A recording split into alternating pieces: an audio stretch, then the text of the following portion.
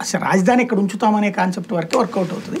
ఓ నాలుగు డెవలప్మెంట్ ఉంటుంది. అంతే. అదే కాన్సెప్ట్ అలా కాదు మొత్తం నేను అమరావతిని మళ్ళీ నేను చెప్పినట్టు లక్ష కోట్లు సంపాదించి పెడతాననే నగరం అంటే గనక మిగతా చోట్లంతా దెబ్బ అయిపోతుంది. కాబట్టి అది ఎక్కువగా వెళ్ళదు ప్రచారం.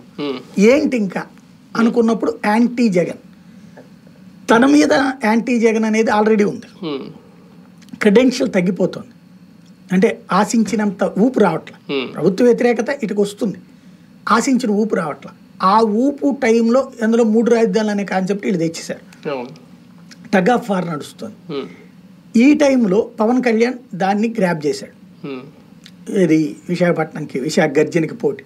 తెలుగుదేశం ధైర్యం చేయలేకపోయిన కార్యక్రమం. ఎందుకంటే ఇలా భయం కూడా తెలంగాణలో అనుభవం వీళ్ళకి. తెలంగాణ జరుగుతున్న టైంలో అక్కడ ఉన్న లీడర్లు ఇటు మాట్లాడేటప్పటికి ఉమ్మడి సమైక్యం అని మాట్లాడేటప్పటికి ఆ ఇంపాక్ట్ మొత్తం తెలుగుదేశం తుడిచిపోయింది కదా అక్కడ.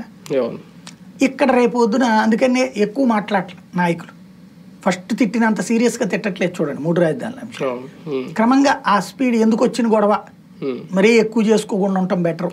అనేటువంటి గొడవ నాయకుల్ని తిడుతున్నారు కానీ మూడు రాజధానులు ఏంటంటే వైజాగ్ ఏం బిగుతారంటే అమరావతిలో ఉంటేనే బాగుంటుంది వైజాగ్ అసలు వద్దు అని చెప్పమనండి ఇప్పుడు అక్కడ వాళ్ళు దోచుకుంటానికి రాజధాని ఇక్కడ పెడుతున్నారనే మాట అంటున్నారు కానీ. విశాఖ రాజధాని పెడితే నాశనం అయిపోద్ది అమరావతి రాజధాని పెడితే నెంబర్ వన్ అవుతుందని చెప్పమనండి ఇప్పుడు. చెప్పరు. అది అక్కడ ఆయనకి సమస్య. ఏది అక్కడ మాట్లాడటానికి కూడా. అలాంటి ధైర్యం చేయలేకపోతుంది తెలుగుదేశం అందుకనే. ఎందుకు? ఆర్గనైజ్డ్ పార్టీగా అది పవన్ కళ్యాణ్ లీడ్ చేసుకున్నాడు. దాన్ని. తెగించి. ఇప్పుడు అప్పట్లో కూడా తెలంగాణ ఉద్యమం టైంలో కూడా తెగించిన ఆయన పవన్ కళ్యాణ్. ఏది మాట్లాడింది? ఆ గంగతో రాంబాబు సినిమాలో ఇట్లాంటి ఉమ్. కానీ అక్కడ గెయిన్ గాల. కానీ ఆ గెయిన్ ఎవరికి ఉపయోగపడింది ఇక్కడ. చంద్రబాబుకు ఉపయోగపడింది. ఇప్పుడు అట్లాగే తనకు ఉపయోగపడుతుందని లెక్కేసుకున్నారు చంద్రబాబు. విశాఖ గర్జనకి వ్యతిరేకంగా పవన్ కళ్యాణ్ చేసే కార్యక్రమం. నాడు తెలంగాణ అంశానికి సంబంధించి రాష్ట్ర విభజనకి వ్యతిరేకంగా ఆయన చేసిన ఉద్యమం చంద్రబాబుకు ఉపయోగపడింది.